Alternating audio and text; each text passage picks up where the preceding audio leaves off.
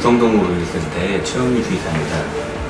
반려동물을 키우는 보호자의 90% 이상이 반려동물을 단순한 동물이 아닌 가족의 일원이라고 여긴다는 그런 연구 데이터가 있습니다.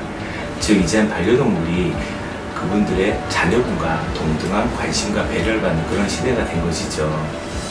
하지만 이제 현대 사회가 워낙 바쁘다 보니까 그 관심과 배려만큼 반려동물과 충분하게 놀아줄 시간이 거의 다 없으세요.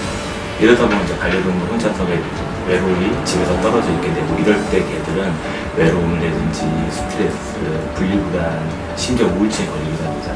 바로 이럴 때 보면서 짜잔 하고 그러면서 주인분 얼굴이 탁 나타나고요. 주인의 목소리가 들리면 개들은 너무 좋아하게 돼요.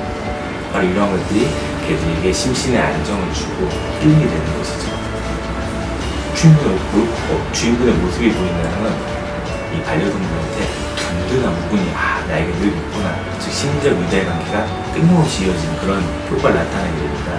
이 외에도 이 나머지 심심한 시간들에 반려동물에게 힐링이 되는 영상이라든지 아니면 어, 반려동물의 힐링이, 힐링이 되는 영상이라든지 음악이라든지 아니면 또 게임 같은 막 하고 그런다면요 개들의 스트레스는 급속하게 반려동물의 스트레스는 급속하게 줄 것이라고 예상이 됩니다.